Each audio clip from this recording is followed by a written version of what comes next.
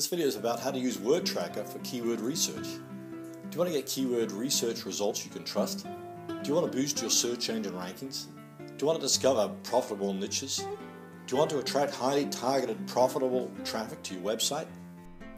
Herman Drost, DrostDesigns.com. Search engines rank websites based on the keywords contained in the content. Wordtracker is one of the most authoritative keyword research tools on the web. Here are the steps to find high performing keywords using Wordtracker. Number one, create a free Wordtracker account. To do that, visit the URL freekeywords.wordtracker.com to create your account. After you've done that, then you can log in. Number two, enter your seed keyword. Enter your seed keyword in the left box. Then on the right, you select your region. The free keyword tool only gives you global. Then under match, you can select the keywords in any order. And then in the include, you can include the plurals. When you click search, you should now see a list of 100 related keywords.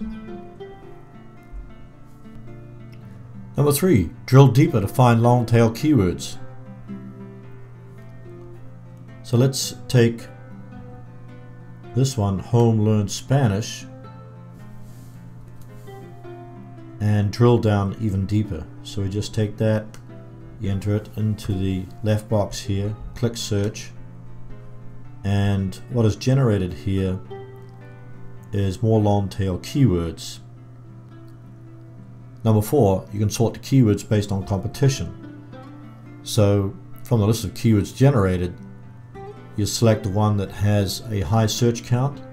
So say for instance, learn Spanish at home. It has a high IAAT. That means that it's uh, many keywords in the and title and also a low KEI, keyword effectiveness score. It's only 68.6. This saves you time finding profitable keywords. Number 5. Save your keywords. Use the export feature at the bottom right of your results page to save your results in a .csv file for easy viewing. Number 6. Create content for each keyword.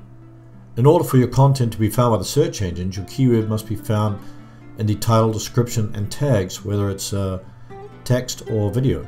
Therefore, create a separate article or video or both for each keyword generated by the Wordtracker tool. And now I'd like you to subscribe to my free e-course 21 highly effective ways to generate free traffic to your website. Click the box above or click on the link in the description below this video. Thanks for watching.